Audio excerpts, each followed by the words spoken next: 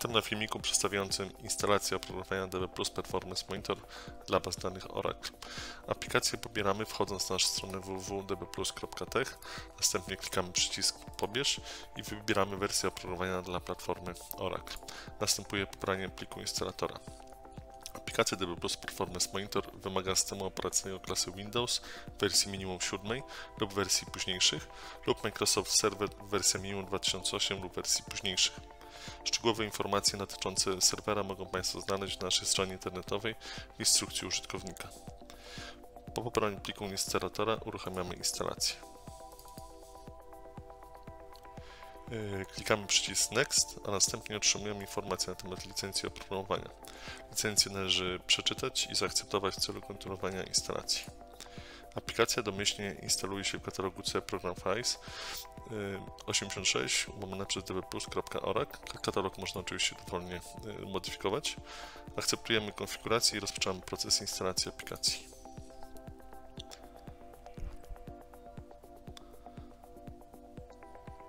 Proces instalacji kończymy przyciskiem Finish. Po zakończeniu instalator domyślnie uruchomi konfigurator systemu Configuration Wizard i rozpoczynamy proces instalacji y, aplikacji.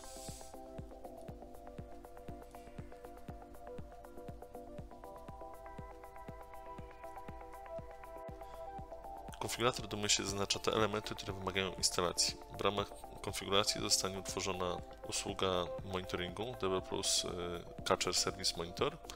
Zostanie skonfigurowana baza repozytorium dla baz danych Oracle. E, zostanie włączona usługa AIS na serwerze, na którym odbywa się instalacja, o ile wcześniej nie była już uruchomiona. I zostanie skonfigurowana aplikacja DPM. E, klikamy przycisk Continue w celu przejścia do pierwszego etapu konfiguracji. Pierwszy krok polega na utworzeniu usługi Windows DB Plus Oracle Catcher. E, w obecnej wersji usługa może działać przy użyciu konta lokalnego. E, klikamy przycisk Continue i przechodzimy do kolejnego etapu konfiguracji. Kolejnym krokiem jest wskazanie bazy Oracle, e, w której zostanie utworzone repozytorium DB+. W bazie tej przechowane będą informacje o wydajności wszystkich monitorowanych baz danych Oracle. W tym celu należy w pierwszej kolejności wybrać typ połączenia. E, do wyboru mamy TNS lub e, Basic. W przypadku wyboru TNS w kolejnym kroku należy podać nazwę seed e, zgodną z wcześniej skonfigurowanym plikiem TNS. Ścieżkę do pliku TNS możemy ustawić korzystając z podprogramu DB Plus TNS Settings. Tam uruchamiamy i wskazujemy ścieżkę dostępu do e, pliku TNS. E, w celu konfiguracji nie wymagana jest instalacja klienta Oracle. Plik TNS powinien znajdować się lokalnie na serwerze, na którym instalujemy aplikację Plus Performance Monitor. W przypadku wyboru połączenia typu Basic należy, należy uzupełnić nazwę hostname lub adres IP serwera z bazą danych Oracle, której utworzymy repozytorium. W naszym przypadku będzie to IPIC 127.0.1, czyli stosujemy lokalnie. E, do wyboru mamy połączenie po service name bądź seedzie. W naszym przypadku wskazujemy sobie e, seed, uzupełniamy seed bazy danych i na samym końcu uzupełniamy e, port przypisany do danej bazy danych, w naszym przypadku 1521. Następnie uzupełniamy e, dane użytkownika bazy danowego, z którego przeprowadzona zostanie instalacja. Użytkownik ten musi posiadać uprawnienia administratora. Dane użytkownika podawane są tylko raz podczas procesu konfiguracji, informacje te nie są nigdzie e, zapisywane. Dane te potrzebne są do utworzenia użytkownika monitoringu i stworzenia modelu danych, w którym będą zapisywane dane do repozytorium DB+. Podajemy użytkownika spełniamy jego rolę. Y, sprawdzamy możliwość połączenia. Otrzymaliśmy informację, że, że połączenie jest możliwe i przechodzimy do kolejnego kroku konfiguracji. Kolejnym krokiem jest utworzenie użytkownika monitoringu w bazie danych repozytorium. Y, oraz wskazanie przestrzeni tablespace, w której dane będą zapisywane. Do wyboru mamy dwie możliwości: y, Create New User bądź Use Existing User. W naszym przypadku skorzystamy y, z rekomendowanej opcji utworzenia nowego użytkownika. Podajemy jego login db plus demo na przykład oraz oczywiście hasło. Następnie mamy do wyboru użycie istniejącej przestrzeni tablespace bądź wybranie nowej e, przestrzeni. W naszym przypadku skorzystamy z istniejącej przestrzeni DB+. Przechodzimy do kolejnego kroku konfiguracji. Następnym etapem konfiguracji jest włączenie funkcji AES na serwerze, na którym zainstalowana jest aplikacja DB+. Okno konfiguratora informuje o dodatkach e, serwera aplikacji AES, które zostaną zainstalowane. W przypadku, gdy e, okno Missing AES Feature Components jest puste, serwer aplikacji AES nie wymaga dodatkowej instalacji. Możemy przejść do kolejnego kroku. Ostatnim elementem jest konfiguracja obiektów interfejsu użytkownika. E, należą do nich rodzaj uwierzytelnienia. W przypadku wyboru e, opcji Local Service nie ma potrzeby podawać nazwy użytkownika i hasła. Usługa będzie działać na domyślnym użytkowniku dla systemu Windows. Rekomendowane jest użycie tego samego uwierzytelnienia, jakie wykorzystaliśmy dla utworzenia usługi e, Catcher. E, dalej mamy możliwość ustawienia portu, na którym będzie działała aplikacja. Domyślnie jest to port 80. Możemy wykonać test, aby sprawdzić, czy port nie jest już e, używany.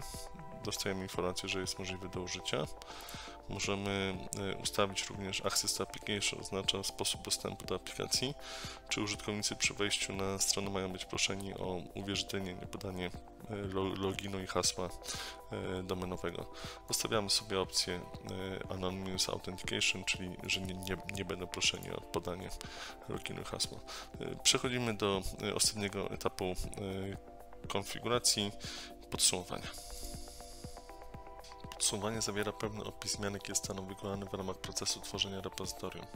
Również w tym miejscu mamy możliwość zapisania skryptu, który wykonany jest w bazie danych Oracle w ramach tworzenia repozytorium. W tym celu klikamy przycisk Repository Installation Script, zapisujemy skrypt na dysku w celu późniejszej weryfikacji. Otrzymaliśmy informację, że skrypt został wygenerowany i zapisany pomyślnie do wskazanej ścieżce i klikamy przycisk Finish w celu rozpoczęcia instalacji i tworzenia bazy danych repozytorium.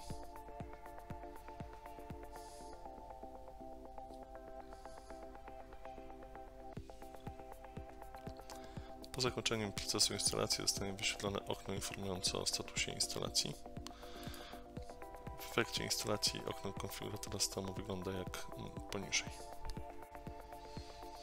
powyższego ekranu można odczytać, iż system TV Plus e, Performance Monitor został już e, zainstalowany. E, wszystkie komponenty są właściwie skonfigurowane, o czym świadczy pasek z informacją Configured Successfully. Usługa Windowsowa DB Plus Oracle Catcher jest uruchomiona. IIS, website, Apple mają status running, co znaczy, że aplikacja jest dostępna dla użytkownika. Baza danych repozytorium jest również e, monitorowana domyślnie, e, więc mamy już dostępną jedną monitorowaną bazę danych. Możemy oczywiście w przypadku takiej potrzeby wyłączyć bazę danych repozytorium z monitoringu. Wystarczy zmienić ustawienia Included in Monitoring na wartość No i zapisać zmiany. W tym przypadku mamy utworzoną bazę repozytorium i nie są obecnie żadne bazy monitorowane. W przypadku dodania nowej bazy wystarczy kliknąć przycisk Add Another Database i wykonywać kroki e, zgodnie z instrukcją, podobnie zresztą jak w przypadku instalacji repozytorium. E, dodatkowo otrzymujemy informacje na temat, e, w którym miejscu znajduje się baza danych repozytorium, to jest tutaj to okienko. Otrzymujemy, jest to informacja, że baza danych ma seed XE, znajduje się na serwerze o IP 127.0.0.1 użytkownikiem, który jest przygotowany, przypisany do bazy danych repozytorium jest użytkownik DB Plus Demo. Link do interfejsu użytkownika dostępny jest pod adresem, e, takim jak Państwo widzą w prawym dolnym rogu. Dziękuję za uwagę i do zobaczenia w kolejnych filmach.